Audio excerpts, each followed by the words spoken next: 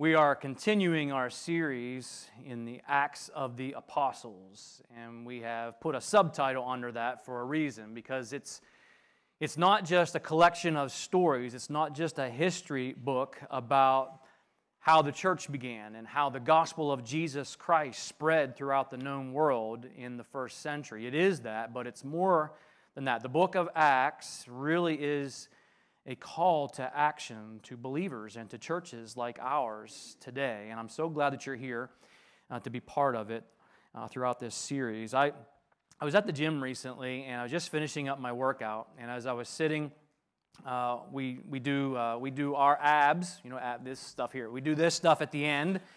And I'm sitting on the mat and getting ready to leave, and in walks this guy, and he starts his workout. He was huge. This guy not only was tall, he was at least six five, maybe taller, and he was just jacked. His muscles had muscles. And uh, as I'm, I'm watching him, he's like throwing weight around just like it was nothing. He looked like a monster. And so I, I observed this as I'm finishing my workout, and it felt to me in that moment like, what am I doing here? I am wasting my time. I will never look like that guy, right? And so I got up and I went to the desk and I canceled my members. No, I didn't. I didn't. I didn't do that. But there's that moment uh, that I experienced uh, recently where I thought, you know, as I as I was comparing myself to somebody else, and some of that is just God-given genetics, right? I mean, you are as tall as you are. You can't stretch yourself, right? You are just a, there's a bone makeup that people have. And so I was comparing myself to somebody else, and it, it, caused me to think, why am I doing this? Is it even, is it even worth it? But then quickly, I was reminded, I had to remind myself why I was there in the first place. The reason I work out is to stay healthy. The reason that I work out uh, is to deal with stress in my life. The reason I work out at, uh, at a local gym instead of at my house is so that I can make connections with people in the community. All of these are good reasons to go and, and, and get a good workout in. It has nothing to do with comparing myself or being in a competition with somebody else. And comparison has its place in life. Comparison, I think, is something that's fine when it comes to competition. If, you, if you're going to have a competition, you buy by definition, have to have comparison. If we had an apple pie contest, you would have to, and I would be happy to do this if we want to set it up, we, we would have to have a comparison between the apple pies in that competition. So there's a place for comparison, there's a place in life for healthy competition, but not everything in life is a competition. Not everything in life is supposed to be a competition. I think for some people, for Christians, I think there are times when the Christian life can become frustrating. I think sometimes the Christian life can even become demoralizing for some because here's what happens. Sometimes Christians will compare themselves to other Christians who may have a different spiritual gift than they do. And maybe that spiritual gift that God has blessed someone else with, maybe it gets more attention. Maybe uh, it's more visible than the spiritual gift that God has blessed this person with. Or maybe there's a ministry that God has blessed with greater impact over here in this ministry than he does in this ministry. And God has reasons for that. But maybe this person who's involved in this ministry looks over there and sees a ministry of greater impact and, and, and feels this comparison or this competition between the two. And it can become frustrating, it can become demoralizing when we do that. When comparison turns into this unhealthy competition, it's not good for us. And it's not that uh, the competition in and of itself is wrong. Like I said, there's a place for that in life. And even there's a, there's a healthy way that Paul described competition when it comes to our Christian life he described the Christian life as like running a race. We all run the race, so you might as well. In fact, he said you really should run the Christian race like you want to win it. Run the Christian race like you really want to give God your best, that you're not giving God a half effort. So there's a healthy uh, idea of competition when it comes to our faith, but boy, when, when Christians allow comparison to turn their Christian life into, into a competition with other Christians, that's not healthy. It's not good. God's not called us to compete with other Christians or with other churches. There's not going to be uh, this best Christian award handed out. There's, there shouldn't be. Comparing ourselves with those who God has gifted with maybe more intelligence. There's people who are smarter than you. There's people who are on the planet way smarter than me. And that's okay. There are people who have much more musical talent than I do. I can barely keep a rhythm, and that's okay. There are people who have more money than I do, people that may have more money than you do. There are, there are people that God has blessed with greater leadership skills, perhaps. God's not called us to be in competition with each other. He has called us simply to live a Jesus centered life. And we're to use whatever gifts, to use whatever resources that God has blessed us with, blessed you with, blessed me with, to whatever, uh, whatever amount of those gifts or resources, or whatever impact, to whatever measure God has blessed us with. We're just to use that to serve God and to serve others. That's it. And this morning we're going to read a story from the book of Acts about a couple people who lost sight of that. And because they lost sight of that, boy, life got sideways real quick for them. Would you join me in Acts chapter 5? If you've been reading ahead a little bit, you know where we're, where we're uh, landing today. In Acts chapter 5, we're talking about Ananias and Sapphira. Some of you know that story. And while you're turning to Acts 5, let me read to you the end of chapter 4. Because the end of chapter 4 kind of sets the stage, puts us into the context of what we're about to read in chapter 5. All right? So I'm going to read this to you from chapter 4, verse 32. This was the, the uh, condition of the early church. This describes uh, the attributes of the early church at this particular moment, this particular season of the church's history. Verse 32 All the believers were united in heart and mind. There was unity around Jesus.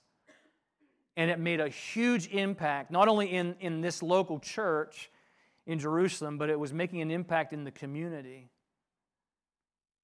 They felt that uh, they, they felt that what they owned was not their own, and so they shared everything that they had. There was this incredible generosity happening. The apostles testified powerfully to the resurrection of the Lord Jesus. There was incredible preaching happening. And God's great blessing was upon them all. God was doing amazing, incredible things on them individually and on them as a church. There were no needy people among them because those who owned land or houses, they'd sell them, bring the money to the apostles to give to those in need. For instance, an example of this there was a man named Joseph. He was the one that the apostles nicknamed Barnabas. Barnabas is uh, a name that means son of encouragement. That was his nickname. He was from the tribe of Levi. He came from the island of Cyprus. And Barnabas sold a field that he owned. He brought the money to the apostles. Just an example, a real life example of what was being described and what was happening in this local church. So we take that context, we take that, uh, those attributes of what was happening at that time into this story of chapter 5. The church is growing rapidly. The church is healthy. All the believers, it says, are one in one heart, one mind. They're unified around living a Jesus centered life. Now, I do think we need to pause here for a moment and just clarify something. It'll, it'll matter as we walk through uh, what we're talking about in, in chapter 5. Some have gone to this passage here in chapter 4, the end of chapter 4, and they've attempted to use what we see here, use this description of the early church as a way to promote a government system of communism, a government system of socialism. But this is not a government system that's being described here. This was just Jesus centered living. This, what we see here, is a voluntary generosity motivated by love. That's not what communism is. That's not what socialism is. Those are government systems that, that force control of resources. That's not what this is. This is a voluntary generosity that is motivated by love. We'll come back to that a little bit later. And one of the examples of this generosity, this extreme generosity that's motivated by love, is this man named Barnabas. I, I just love his name. Can you imagine if, uh, how awesome that would be to have your nickname be son of encouragement, daughter of encouragement? Like that's what people think about you. It's not an ironic nickname. You know, it's like calling that muscle bound guy at the gym chubby. Don't do that, first of all. I would not recommend doing that. But that's not what this is. This is not an ironic nickname. He earned that nickname. When you read about uh, Barnabas throughout the book of Acts, you see this guy was just wired by God to be an encourager.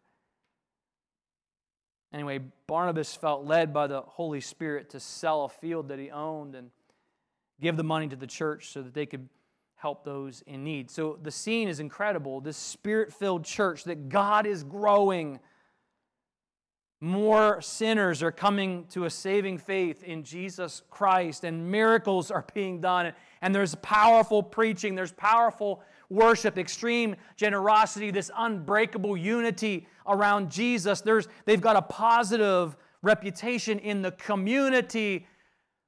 What could possibly go wrong? What could possibly stop the powerful impact of this church? Enter chapter 5 verse 1 says, starts with the word but. Now, here's how the language works. When you have the word but, if what comes before that is negative, well, you want to see the word but. Like, this was terrible, this was awful, this was, uh, this was the worst, but, because what that means what's coming next is good and positive and wonderful. If what you just read was positive, wonderful, and incredible, and then you see the word but, we're going left turn in the wrong direction. And that's what we're about to see. But there was a certain man named Ananias who, with his wife Sapphira, sold some property.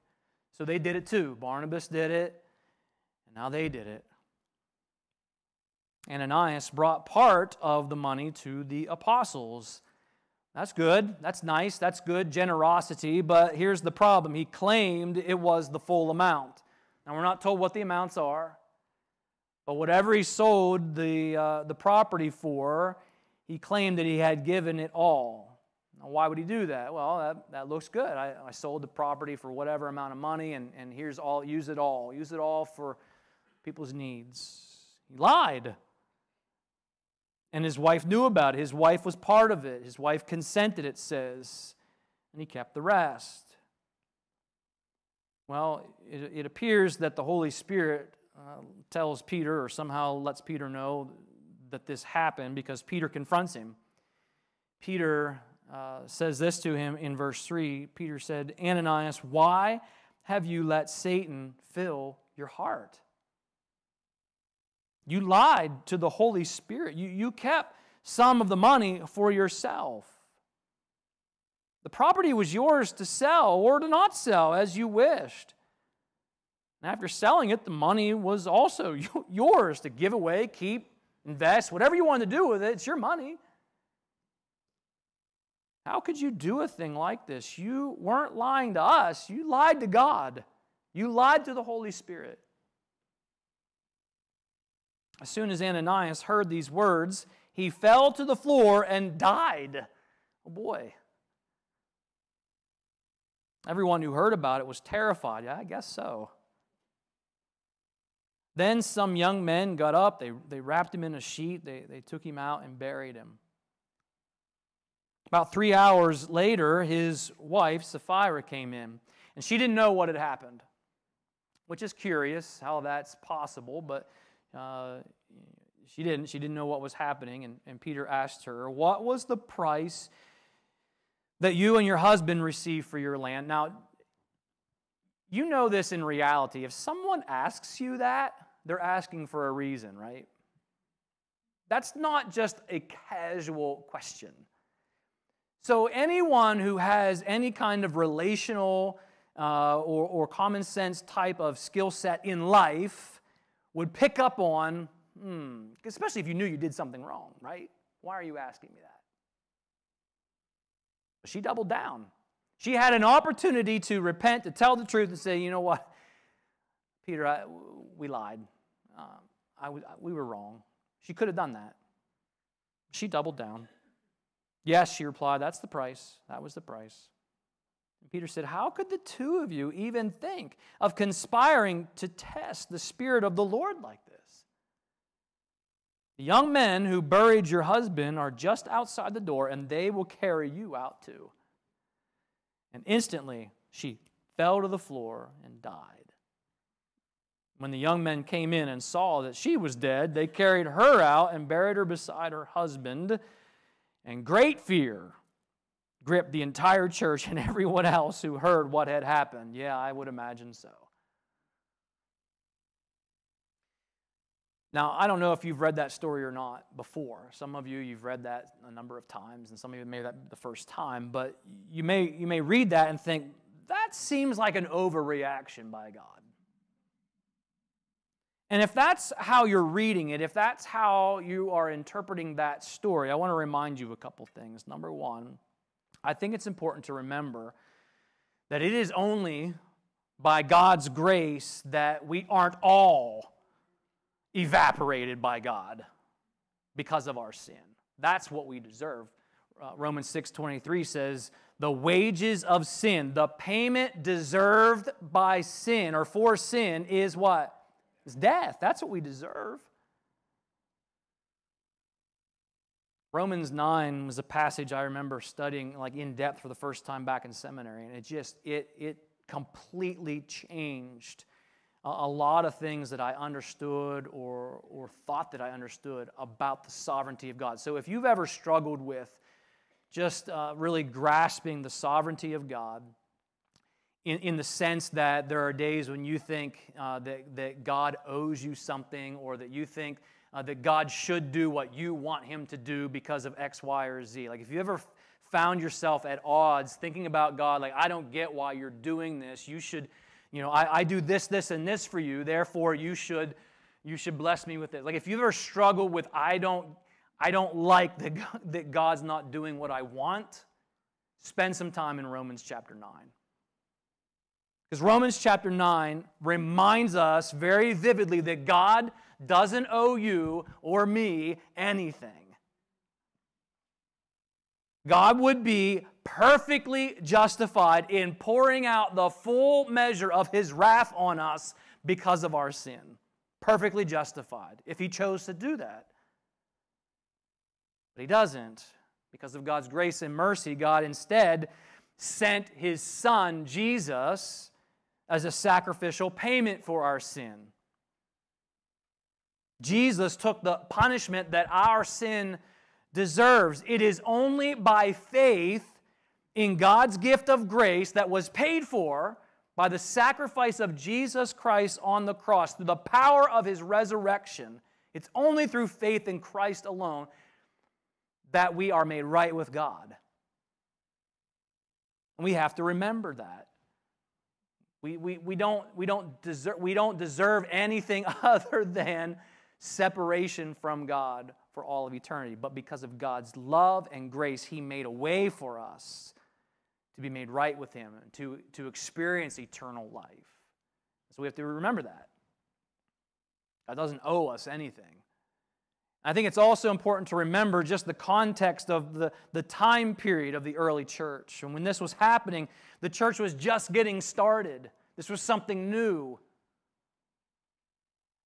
And so all eyes were on it, and, and you have all of these miracles that were happening that were validating what the apostles were teaching about the resurrection of Jesus Christ.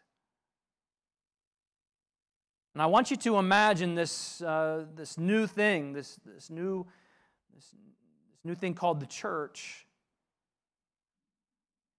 And as it's getting started, you've got this couple, Ananias and Sapphira, who do something generous, do something good, and nobody knows uh, about it but them and God as far as they lied. Their integrity wasn't there when they did it, they deceived people. We know from the book of Acts, uh, Barnabas is mentioned there, and, and be, because of who he was, he was an encourager, but certainly someone that people looked up to. He rose to a position of leadership. Later on, we're going to see in chapter 6, there was a group of people, one of which was Stephen. And because of, because of people uh, looking to him as seeing him as someone who loves Jesus and, and uh, that they believe to be trustworthy and, and honorable, he rose to a position of, of leadership. This is kind of how things normally go. And so imagine Ananias and Sapphira if, if, if they get away with the deception and everyone has a favorable view of them in the church and they rise to a place of leadership or influence within the church, but their integrity isn't there, it's only a matter of time until they do something again that's going to damage not only the church internally, but their reputation of the church outside as well. And we have to understand that God is protecting the early church at this time. It's not an overreaction. God never overreacts. In fact, I think if we were be truly honest with the situation, we, we would have to walk away saying, actually, God is way more patient and gracious with us than we deserve. The other pause that I would want to put and just talk about for just a moment when we read this story is uh, just a caution to those who might look at our modern experience of the church and say something like, you know, a spirit filled church, which I think we would want. We want our church to be filled with God's Spirit. We want people uh, here to be filled with the Spirit of God. But there are some who might say a spirit filled church should be seeing miraculous healings on a regular basis, like uh, here in the book of Acts. And if you're not, well, they must not be a spirit filled church. As if our church experience today needs to or should look exactly like the church experience that the apostles were experiencing in the first century. To which I would ask this Do you also think that God should strike down any Christian who sins. Just drop them dead, like right where they stand, like in the early church. Do you also think that? Probably not. Public miracles have always had a, a place in validating God's message, in validating God's messenger. You, you can look all the way back to the time of the Exodus, and Moses comes in, and there's these miracles in it that uh, God performs through him, and they validate him as a messenger. They validate his message as uh, God is bringing the slaves, the Hebrew slaves, out of Egypt. And you fast forward throughout Scripture to the, the public ministry of Jesus and his miracles and the apostles in the New Testament. God had a purpose for those public miracles to validate the message of the kingdom of God, to validate the gospel. But you also see instances throughout Scripture where there are private miracles. There, Jesus also did private miracles, and he, and, he, and he did those miracles out of love, out of compassion, and, and he even told people, don't, don't tell anybody about this. No, they did. But that wasn't the purpose of some of those miracles. Sometimes Jesus just healed people because of love and compassion and their faith in him. And so, yes, we should still have faith in God today to do miracles in our lives. And we should absolutely pray for God to intervene in our lives on our behalf. But not everything about the spirit filled church in Acts will be exactly like the spirit filled church that you and I experience today. That's okay. You know, for one, we don't have apostles. That's one difference. You're stuck with me, right? But we do have the testimony of the Word of God, which is amazing. God may not still be doing as many miracles to validate his message in the same way. And I, think that still happens. There are places in the world you hear stories from missionaries. I think if God wants to do a miracle to validate his message or his messenger, God will do that. Right? He's sovereign. He can do whatever he wants. So it may not be happening in the exact same way that it did in the book of Acts uh, or, or as much as it, as it did then. But it doesn't mean that we can't be a spirit filled church filled with spirit filled Christians, where God is using you, where He's using me, where He's using us as a church to make an incredible impact in the world around us. And I want to talk about what that looks like this morning as we talk about a spirit filled church and what it looks like to follow Jesus and to live a Jesus centered life. But I think let's just take a, one more minute and go back to this story and let's think about how this happened. How, is, how, how was it possible that this tragedy happened in the first place? Is, is it possible that Ananias and Sapphira were just these evil hucksters pretending to be Christians with some maniacal plan to destroy the church from within, to sabotage it from within? Well, based on what Luke wrote, that's what we have to go by. It doesn't appear to be a plan of sabotage. Peter said that they lied to the Holy Spirit, which implies that they had the Holy Spirit. And how do you get the Holy Spirit? Well, you only have the Holy Spirit through, through God's grace, through faith in Jesus, and, and, and in salvation, we're given the Holy Spirit. So it, it seems as though what, uh, what Peter is saying is that they, they, in fact, had the Holy Spirit. And, and certainly, based on the way the story is written, uh, it, it, appears as though they were just trying to, to compete with Barnabas in, in getting some praise and some uh, type of uh, affirmation from other people within the church. It doesn't look as though they were trying to sabotage it or destroy it. I think it's more likely as you read the story that you know, when Peter says, Why did you let Satan fill your heart? It, it appears to me as though Satan was using comparison with Barnabas to fuel within them jealousy, to fuel a desire for praise and affirmation from others. They saw themselves in competition with Barnabas for what? The award of most generous? They didn't have to sell their property. No one forced them to do that. That's not what this isn't communism. They weren't forced to do that. They weren't forced to uh, give any of it, even if they chose to sell their property. They, they could keep all the money for themselves, or they, you know, if they wanted, they could have given 10%. They weren't forced to do any of these things. They didn't even have to disclose how much they kept for themselves or how much they gave to the church. All of that should have been between them and the Lord as the Holy Spirit directed their hearts, prompted their hearts, led their hearts to give in whatever amount the Holy Spirit told them to give it. But instead, they compared themselves with Barnabas and they allowed generosity to turn into this competition.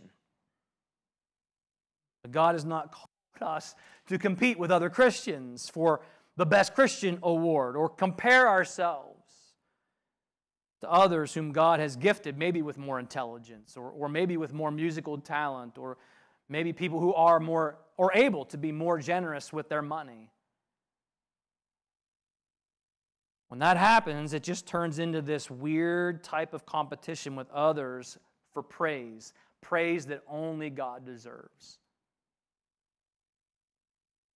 I could give you a very long list of things that God has gifted others in greater measure than me. I am fully aware of, of the things that are on that list. But that doesn't mean that, that I should give up. It doesn't mean that you should be discouraged because God has gifted someone else with something that He didn't gift you with, or, or me with, or in the measure that He gifted them with it. Any more than I should stop going to the gym just because there are guys there who are bigger and stronger and younger than I am. If comparison and competition become our focus, then we've forgotten why we're even doing what we're doing in the first place. We, we, we have forgotten our calling. God has simply called us to live a Jesus centered life, to use whatever gift He's given you in whatever measure He has given it to you, to use whatever resources He has given to me or to you in whatever measure He has blessed us with, to simply use those things for His glory, for His honor, to serve Him and to serve others with gladness and joy in our hearts. I want to think about how this true story from, from history speaks into our call to action today. What does it actually look like to live a Jesus centered life? We say it a lot, and, and hopefully throughout the year we, we fill in uh, a little bit more understanding uh, into what we mean by that. We want to have a spirit filled church filled with spirit filled people that are living a Jesus centered life. Well, what does, that, what does that look like? We go back to uh, chapter 4, and the end of, of chapter 4, we, we, see some, we see some things that, uh, that defined this early church. Number one, they were extremely generous, weren't they? I mean, you saw that in chapter 2, you see it uh, here, here again in chapter 4. They were extremely generous. And it wasn't out of guilt. They didn't have to have a capital campaign and, and guilt people in, into giving more. It wasn't, uh, it wasn't out of uh, forced government taxation or something like that. They didn't do it, at least others other than you know, Ananias and Sapphira. Most, most people weren't giving just so they could look good or so they could impress other people. No, they were motivated by love. They were, and that love was generated by God's grace in their lives. And we can experience that. That's absolutely something we can experience. When we give, no one, no one needs to know about it. When we're extreme in generosity, we don't, we don't need to ha- be applauded. We don't need to have our name attached to a plaque in celebration of our generosity. If we're doing it for the right reasons, we don't need any of that stuff. When we put Jesus in the center of our lives, His Spirit is going to motivate us through love to just want to be extremely generous. And we can experience that. There's no reason that we can't. They were extremely generous. We also see in the early church, they, they were extremely unified around Jesus. You see that phrase in, uh, in chapter 4 all the believers were united in heart and mind. And I want you to just think about the reality of what that meant and what it can mean for us. This was a church that went from what, like 120 people to thousands very rapidly. And it wasn't like they were all the same um, in, in, in everything in life. You had rich and poor. That's the first thing we notice. Obviously, you had to have very wealthy people who owned more than one home or who owned multiple plots of land. That meant they were wealthy to the point where they were able to sell some or one of those pieces of property uh, in order to help those who were what? Poor. So you had wealthy people, you had poor people in the same church. And those are two different cultures, you understand? Those who have a lot of money see the world just differently. They have different questions that they ask about life and, and, and different tensions that they deal with in life than those who don't have a lot of money. It's just a different set of circumstances uh, that, that they don't experience life in the same way. And you put them together, they're different. It's not that one is better than the other, they're just, it's a difference between the two that doesn't match up as far as you know, how you would normally hang out with this person or that person. They had different ethnic backgrounds. Remember from Pentecost. They have these different languages that the, through, the, through the miraculous power of the Holy Spirit, as the apostles were, were preaching the gospel, people of different native tongue or first languages were able to hear and understand them, which means you've got different ethnic backgrounds all coming together into one church. Well, you have different ethnic backgrounds, you have different value systems, you have different worldviews, all these different things, all these different people coming together that shouldn't, on paper, get along. On paper, these people would not normally be friends. But because of their incredible love for Jesus, they had incredible love for each other. And we can experience that. We absolutely can experience that today. My wife and I had the opportunity to go to, uh, I guess it wasn't really a funeral, more of a, a celebration of life for a friend of ours recently in, uh, in Johnstown. My, this is 30 years ago. 30 years ago, my, my dad was a pastor in Johnstown, downtown Johnstown. If you know anything about Johnstown, it was in Kernville. And, uh, you know, Kernville, Moxham, there's some of these uh, communities that are they're rough. They're inner city culture. And uh, so we went to this celebration of life, and we haven't seen some of these people in 25 years. But while we were there, we had, we had nothing in common. Not nothing. We had very little in common because we're all from this rural community over here. And I'm telling you, when I say inner city, I mean it's all in inner city. And uh, just one quick example my sister reminded me of this. Uh, one of the kids in our youth group, uh, we had uh, brought them over here into the cove for something, and uh, they were in Martinsburg, walking down the street in Martinsburg, and I guess someone waved. You know, people do that, right? In Johnstown, uh, he thought someone wanted to fight. Let's go, right now, we're gonna fight. And I'm like, no, dude, they, they're just saying hi, right? So it's just a different way of seeing the world.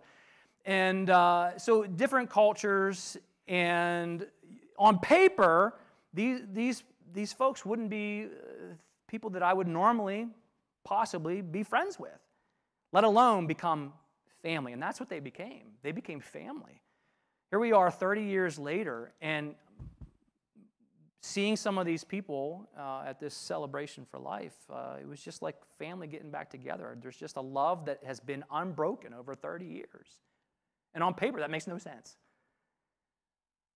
But because of our love for Jesus, we are connected, and, and, and there's this unity of relationship that takes place. And we can experience that here as well. We can show the world what it looks like when, when the color of our skin doesn't matter, when, when economic status doesn't matter, when, when levels of intelligence or levels of athleticism, or some people have more of the cool factor than other people, right? That's just a reality in life, and it doesn't matter when we're unified around Jesus.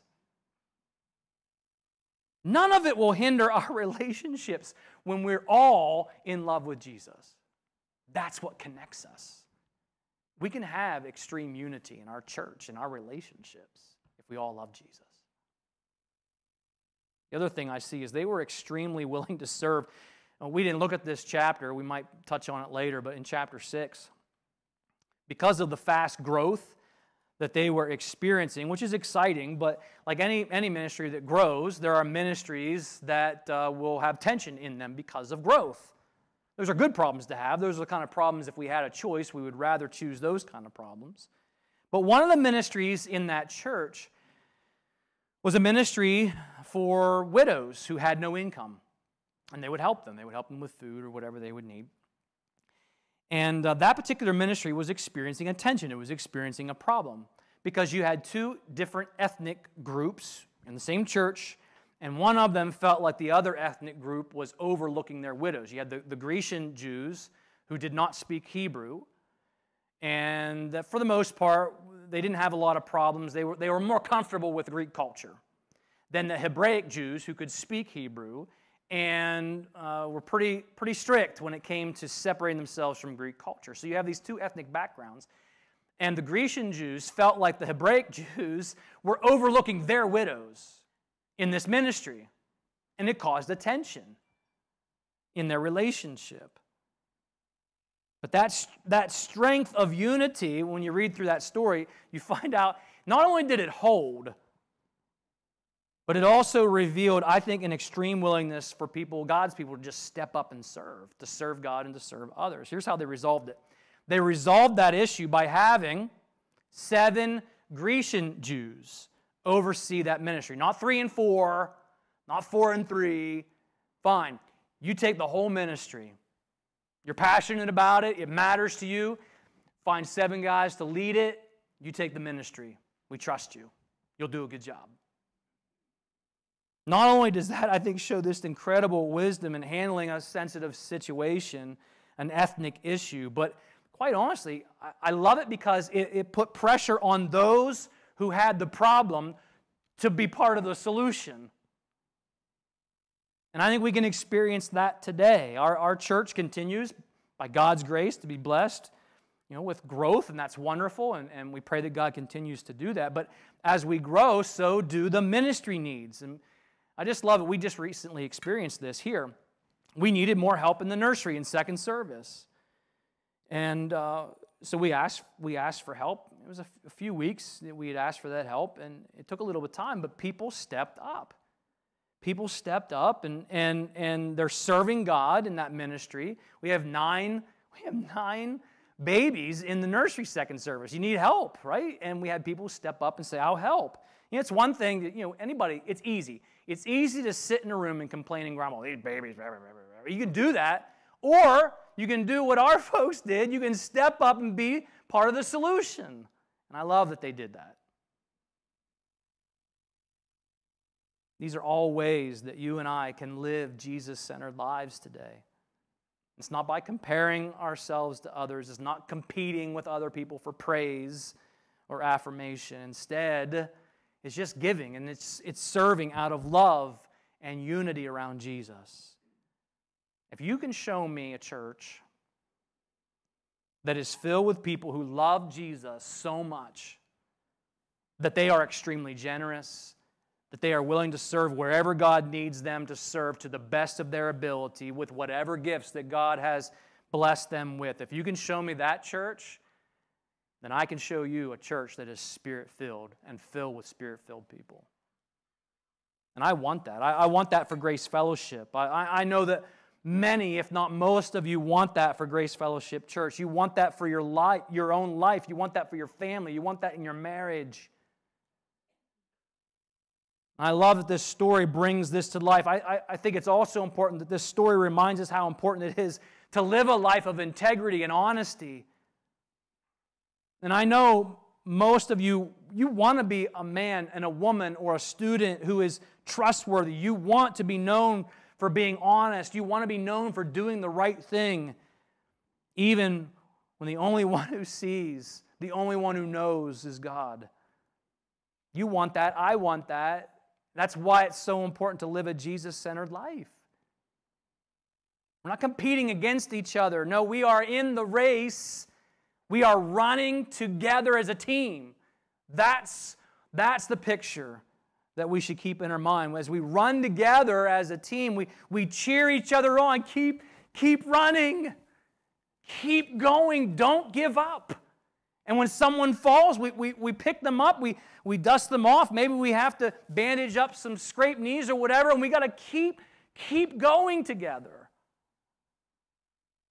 We have to remind each other that the pain that we experience in the race, it will be worth it when we reach the finish line. We're not there yet. Keep going. It'll be worth it when we get there. See, that's what we're called to do. Not compare each other, not compete with each other. We're running together, living Jesus centered lives. And if we all do that, you do it, I do it, if we all do that, if we're all unified around Jesus, there's no stopping what God wants to do in us and through us as a, as a church, as, as a follower of Jesus Christ. You can't stop us. That's what we want here at Grace Fellowship.